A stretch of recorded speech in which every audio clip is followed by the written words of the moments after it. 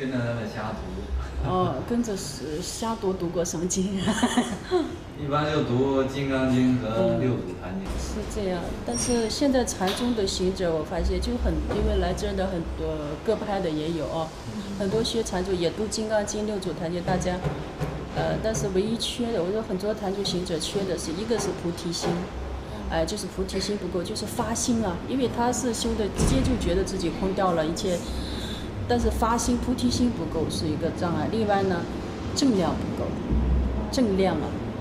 就是说，因为禅宗是呃否定一切次第跟法门的，那么其实你要利益众生行菩萨道的话，你没有正量，我们不谈正量，不谈次第，不代表我们没有次第修正，没有没有正量，你不谈不代表没有，就像六祖呃从达摩到六祖，都是神通具足的，我们不是说要神通，神通是小数。哎，也也，他们的正量内在的正量，包括达摩就说一苇渡江过来啊，一苇渡江，我们的一苇渡江，就那么简单的，就是说你要有正量，就要实修禅定，要修定力，呃，要通通过定，就否则我们的智慧永远圆满不了。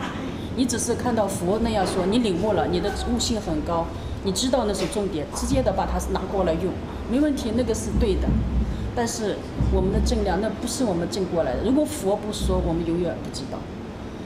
但是我们要自己正的，我们要通过我们的身心来正的那个世界。也就是他们告诉我的，你呀，你明白了这个道理之后，你要渐修，一定要在生活上经常的去修整自己。在呃，在生活里边修是说以戒事练心，这是一个方面。但是呢。刚开始戒事练心，比如说我有杂念，我有欲望的习气，那那呃，当他升起的时候，我把它放下了，因为我觉照到了，那这个欲望习气我放下，但明天它照样又生出来，我再放下，后天还生出，难道我们觉照欲望习气，难道就是这样不断的升起放下，升起放下吗？是有一天它不再生，目的是有一天这个妄想，这个妄念不再在我们的脑子出现，那靠什么呢？一个凡夫是做不到，他永远妄念一大堆。即使他坐在那儿，他他想控制妄念是不可能的。妄念哎，就是说，虽然慧能说戒，慧能无计量，不断百思想，但那是慧能的正量境界，不是我们的。对对对。我们先要修止观，就先要止，先要先要真的是先止止息妄念，然后才能开始妄念不影响我们。就说，所以止力定力一定要修，包括不管你学哪个宗派，不管你是。呃，从《金刚经》呃不呃《维摩诘》，从哪个经典入手，你一定这个止观止力一定要修好。其实佛的所有经典都跟修正密切相关。为什么我们看不懂？是因为我没有正量，没有修正。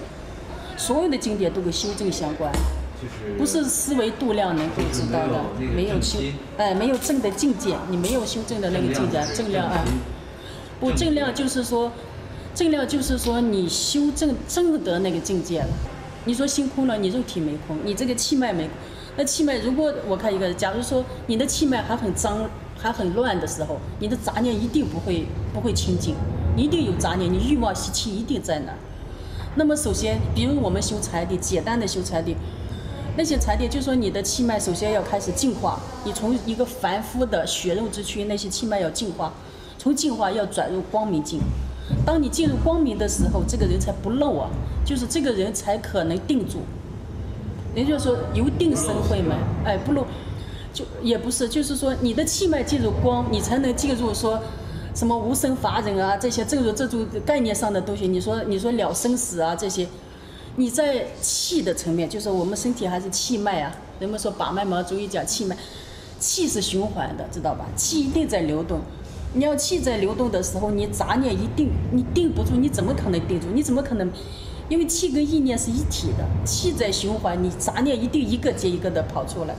从我们刚开始，即使你宿舍是谁谁谁再来，即使你根气再好，那么我们来了几十年，已经染了一大堆习气东西了，是不是？我们需要先从生理上着手清洗，因为心我们抓不住，心是抓不住的，你能抓住你的心吗？如果你 你是控制不了你的杂念，你说不想，他就想出来，是吧？那么身体我要把它控制在坐垫上，还是可以的嘛？是个有形的东西，我可以控制。我说我今天做四个小时不起坐，那我还是只要有点毅力，有点狠心，我就能控制，把自己空也能控在那个坐垫上，是不是？心你就抓不住，你怎么控制？通过修身慢慢调心，一直到你最后进入无分别的境界，然后那个时候。你的你可以做，可以不做，行走坐卧吃喝拉撒睡都是禅定啊。对对对。但不是这个还不，禅宗是最后的东西，你知道吗？禅宗一定是你最后这个已经转化到一定时候，你知道到禅宗的出现是小乘、大乘、密乘，他佛弟子走完了，最后修心法的时候才是禅宗，不着文字相，就是说佛弟子已经走到哪了？走到要博士生毕业了，他要弃船登岸了。他要弃船登岸的时候，他已经渡过来了。到到别弃船登岸的时候，他要不着文字相，把佛也忘掉。对。因为你有佛，就有众生；你有佛，佛是相对众生存在着。你要把这个佛像通通的文字相破掉，你要把船弃掉，你才能上。你总能背着船上去吧？对对。这一刻禅宗出现了。对，法上映射是最后的事儿，但是我们要依照依止的，知道吧？开始我们很散乱，没心中没有力量，没有定力，啊，被五欲牵引，被被这个世界的任何习气染，你还在被染。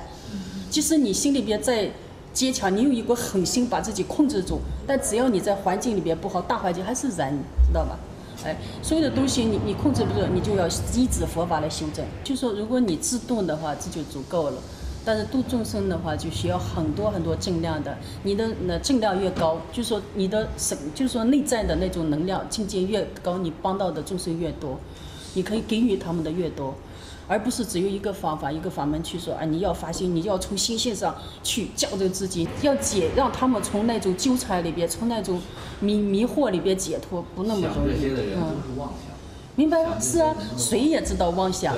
很多人谁愿意为贫欲所苦呢？哪个人都觉得这个是个妄念，这个是个妄想。我为什么要想呢？明知道不行，为什么想？他就想了。对。